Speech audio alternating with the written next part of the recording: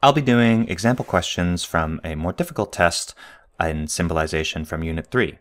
We'll be doing three questions today, and they require a little bit more sort of thinking or perhaps a trick or two to solve nicely.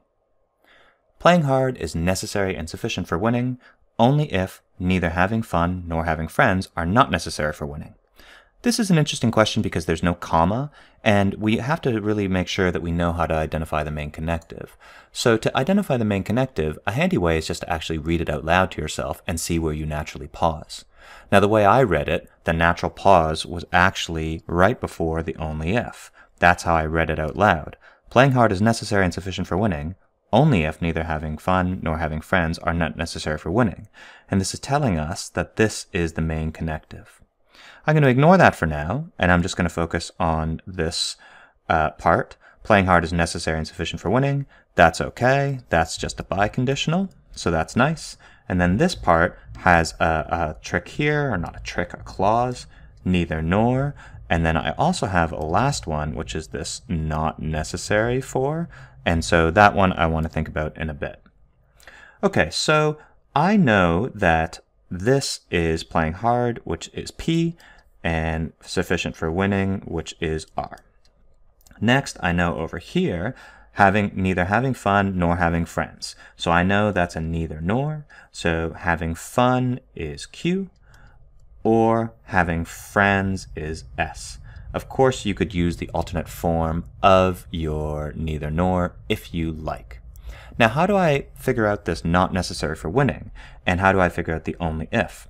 Let's do the only if first. I know then that the main connective is the conditional, which is associated with the only if. So what I really need to know is the direction.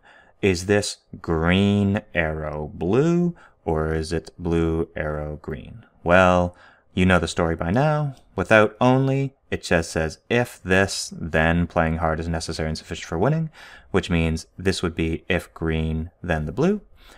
But with, with the only, it reverses the direction. So instead of it saying green, blue, it's blue, green. So I know that over here is P biconditional, oops, that's really messy, biconditional R, and I'm going to put brackets around to preserve this as the main connective.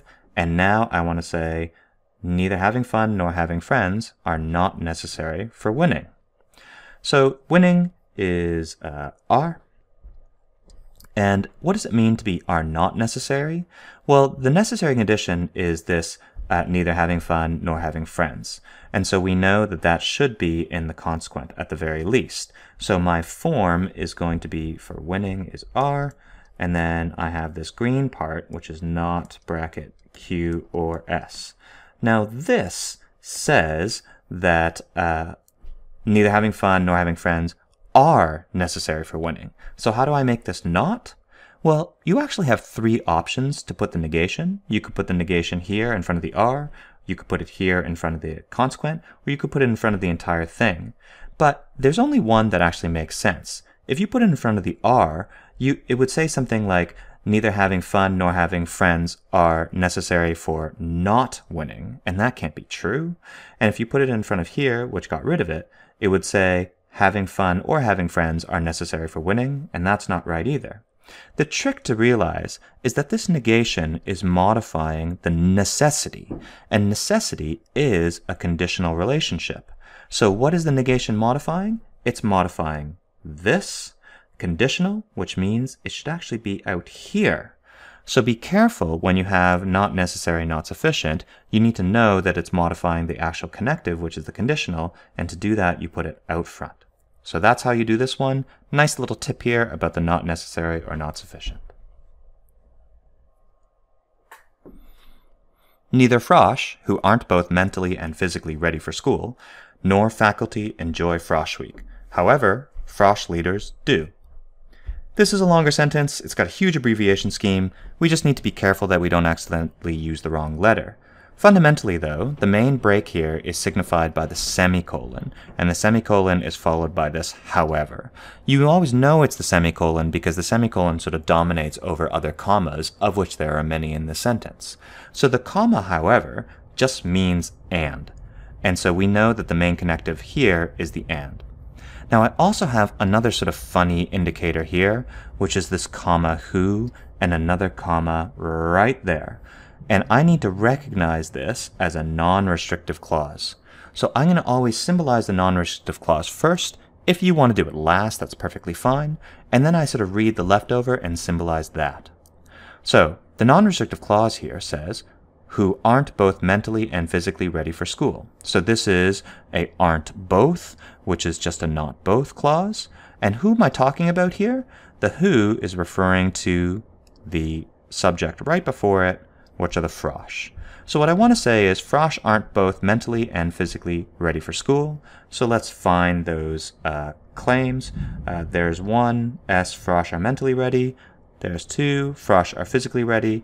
And I need to say not both. So I'm going to say negation, S and T. Of course, you could say the other way, which is not S or not T, and that's fine.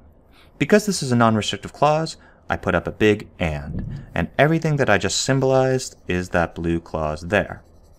Now I'm ready to read the rest of the sentence without the blue clause, and it just says neither Frosh nor faculty enjoy Frosh Week. Okay, so that's just a neither nor. It's just a neither nor that's really broken up around this non-restrictive clause. So now I want to say Frosh enjoy fr uh, Frosh Week, faculty enjoy Frosh Week. So that's PQ, but I want to put it in a neither nor form, so I'm going to say not P or Q. Of course, you could say not P and not Q as the alternate form, no problem. And that is this first clause here. Now the semicolon, however, is just and. In this case, if you want to put brackets up, anywhere, like around here, for example, that's fine. It turns out that if you actually just want to do it here, like this, that's also fine. When we have a string of ands, it doesn't really matter what the main connective is because they're equivalent. So I'll just leave it there for now. Now I want to say Frosh leaders do. Well, do what? Neither Frosh nor faculty enjoy Frosh Week, so now I just need to say Frosh leaders do. So how do I say that? Uh, leaders enjoy Frosh Week. Uh, that's R, so I just say R. Now, wait a minute. What happened here? I have some leftover letters. Uh, I have faculty are mentally ready for school. I have faculty are physically ready. I have leaders are mentally ready and leaders. What are these? Well, I didn't use them. They're actually sort of red herrings. They're meant to sort of test whether or not you genuinely understand that the non-restrictive clause here only applies to the frosh and doesn't apply to the faculty or the leaders. So if you didn't understand a non-restrictive clause, you would have tried to use W, X, Y, and Z in your solution, but you're not supposed to. Last question. Although Pam plays either left wing, right wing, or goalie, only if she's the second of these will she score. This is sort of a, a weird question. It's actually testing just one silly thing, but let's sort of walk through it. So here I have the comma only if, and I have also a reference term, which is the second of these. And uh, I also have uh, some other break uh, remarks here. I have this although, um, and so we need to sort of see how this all fits together. Now the only if we're reasonably comfortable with.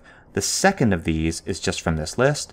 Pam please plays either left wing, right wing, or goalie uh, and that's got to be the second, which is the right wing. And notice that, uh, actually, I made a mistake here, so it's nice to correct mistakes. I have the although, and I should have been looking for the comma for the although, and that's this comma here. So this comma belongs to the although, like we've always done, which means the and is the main connective, and that's that green. Okay. Well, I'm actually going to do the harder part first, just because uh, it, it's sort of worth spending a bit more time about. Only if she's the second of these will she score. So only if Pam plays right wing will she score. So how do we do this? Does this say right wing, by the way, is Q, and score is Z. So as always, is this Q arrow Z, or is this Z arrow Q? And the answer depends on the only. Without the only, it says if Q, then Z. That's this one. Without the only, it's this. So, of course, when you put the only in, it's not this one, it's that, okay? So that's the answer. I wish I'd sort of move that over. It's in an awkward spot. Let's see if I can do that. Hey, look at that. Okay, So that means I know that this is Z arrow Q, and I'll put brackets around it. Now, how do I say Pam plays either left wing, right wing, or goalie? The trick here is, is, is sort of silly. You just need to remember that even though I have this word either, or is still inclusive, no matter what. It's always inclusive in logic. So you might think that she can't play left wing, right wing, and goalie at the same time, but why? I haven't told you what sport she's playing. Maybe she's playing this weird sport that she made up where you can be all these positions. We don't know. So the, the simple thing to do is just to not worry about these things and just remember that or is inclusive and you're done. The way that this trips students up is that they would treat or either or as exclusive and try and write out this long complicated statement, but you really don't want to do that.